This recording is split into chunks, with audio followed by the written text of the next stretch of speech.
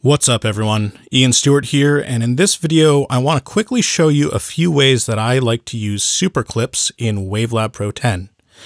So the first way that I really love to use them is for stem mastering sessions. So we can see here, I've got four stems that I've gotten from a client, drums, bass, synths, and Vox. Now, normally in a mastering session, I've got a pitch track, which is a, a, reference track. And the reason I use a reference track is I can set up the routing so it goes out a hardware send to my analog chain. And then I've got a catch track set up and I've got the routing set so that the input is set to my main recording bus.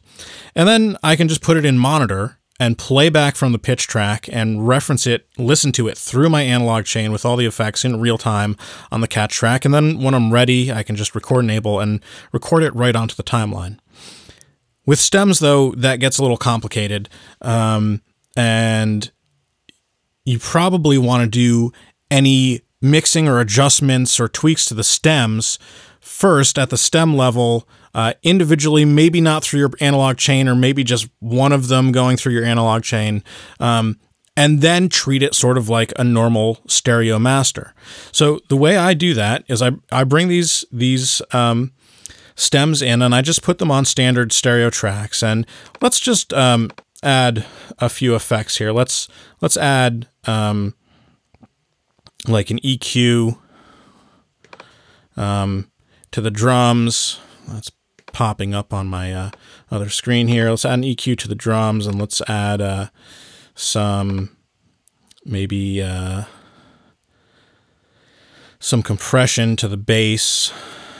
I'm just grabbing the FabFilter stuff because it's right at the top and easy and and uh, I don't know maybe uh, maybe let's add a, a, different EQ to the the synths. Um, let's use the Ozone 9 equalizer there and um, again popping up on different screens here and then on uh, on the vocals let's say maybe we need a, um, a de-esser or something so we'll, we'll grab uh, grab the Steinberg de-esser here and bring that up.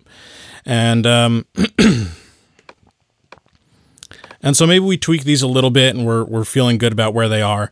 Um, then what I'll do, and often I, actually I'll just do this first, but maybe you want to dive in and just get an idea of, of where you're going. I'll select these four clips and then I'll come into the process tab and I'll say create superclip. Now, there are a couple ways you can create a superclip. The way I like to do it is using what they call an iClip, which is an internal submontage, and that stores everything in your main montage file, and I, I find that really convenient. But if you wanted to ex export it as an external audio montage and reference it in this montage, you can do that too. And the, the difference there is that basically the internal clip, again, it keeps it all in that one main montage session the external saves it as two separate montages, so you can open um, your stem montage directly if you want. I'm going to do internal. I'm going to say place on first available track. I'm going to include track effects. So that means that these effects that I've loaded up here are going to be included in the internal montage. And I'm just going to call it Planet Hop. Uh, let's call it Stem Mix. And that's just the name of the song. Call it Stem Mix hit OK, and it's going to go ahead and render it out and bring it in. And it's going to put it on that, that first track that we had it loaded up on, the drum track. But now what I can do is I can just go and move it to my pitch track. And now I could monitor this through my analog chain just like I would with anything else. Now, the first thing you might notice here is it looks like the uh, peaks are kind of clipped off. Well, because Wavelab's working at floating point internally, um, either 32-bit or 64-bit, depending on how you have it set up, you can actually just grab the envelope there and pull the level down and all your peaks are retained. And actually, you can come in and I've always got to remember, I've got to enable able to listen on this track so that it's not muted, but I can come in to the process tab, grab the meta normalizer, run my pregain leveler, and it's going to go through and set the gain so that it's kind of optimized um, for my analog chain.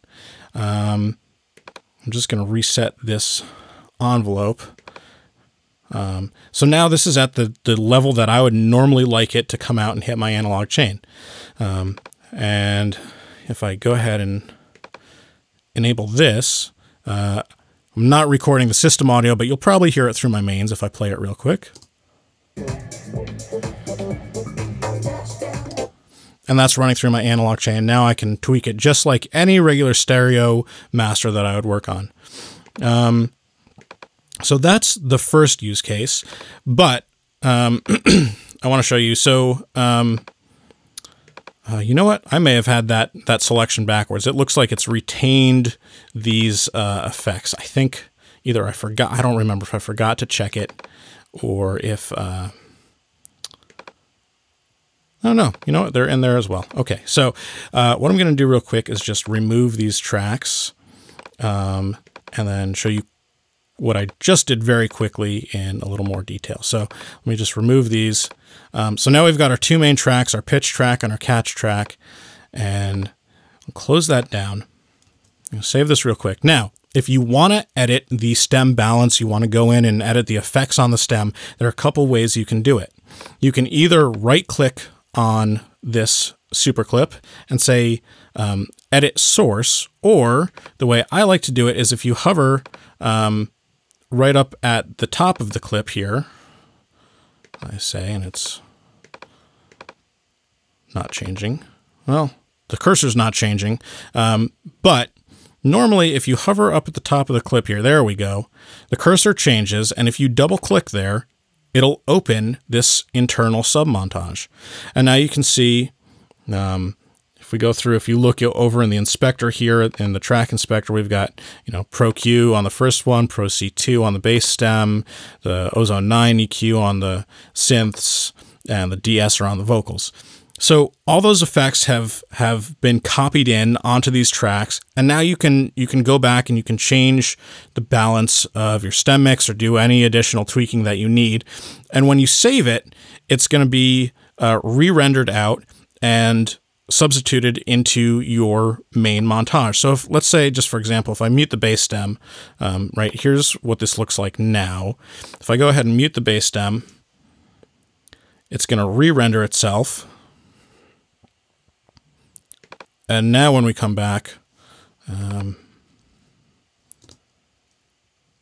gotta play through here.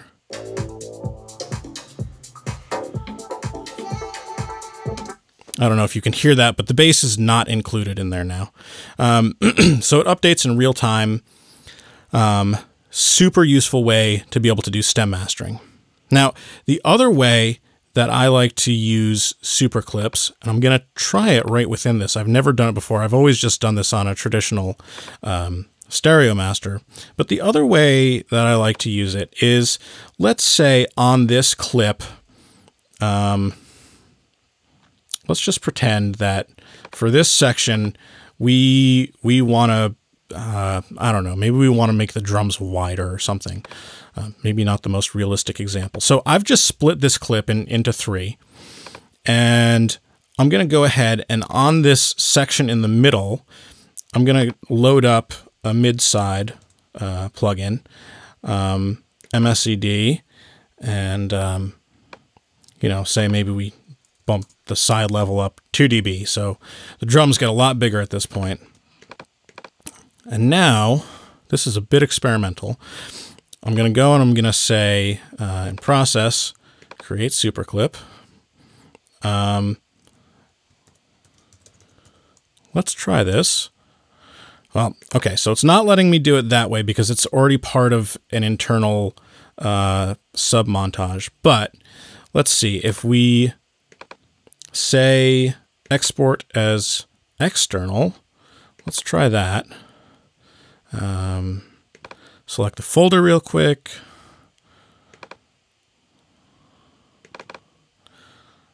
Let's put it there.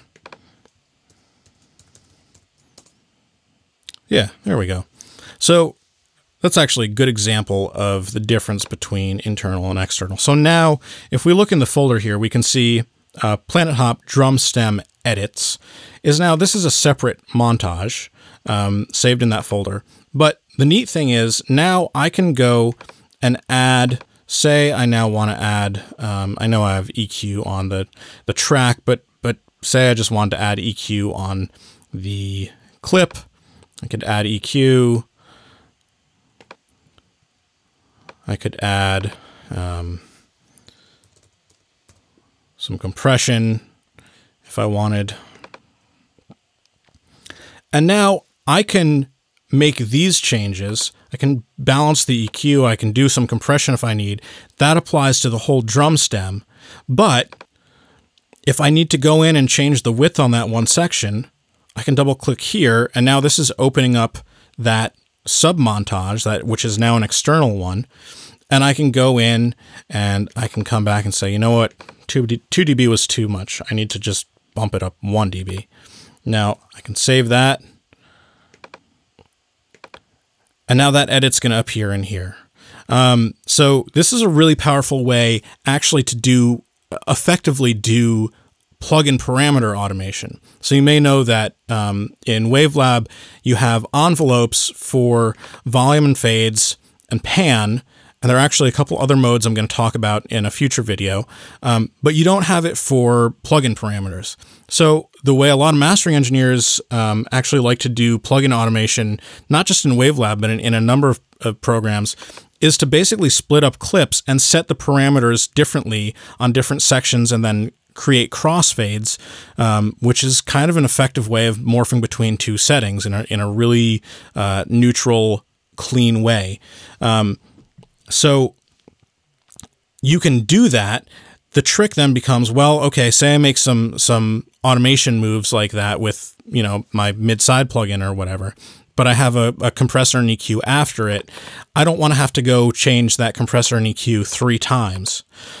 In Wavelab, you can just turn this into a super clip here, and now your EQ and compression can live on that super clip and you can make single adjustments there and the granular adjustments that you need to your MS or, or whatever the pro plugin processing may be uh, inside that reference clip. So those are a few ways um, that you can use super clips in Wavelab Pro 10 uh, for stem mastering, for automation, um, and a number of other things. Honestly, it, this is really just scratching the surface. I mean, I, have used it if I need to do edits, if I'm using an, an external audio editor, um, I may do those, save those to a super clip so that the edits are retained within the super clip. And then if I get an updated mix, I can go and replace those files, but still have a good visual marker of where I did those edits. I can add in markers into the super clip if needed. They just show up there, but I don't have to see them at the top level. So there are a lot of ways to use this. Um, uh, the sky's kind of the limit. Be, get creative with it. See what you can do. Um, but these are a couple of my favorite ways to use super clips in Wavelab Pro 10. So I hope that was helpful, and I'll see you guys in the next one. Thanks. Take care.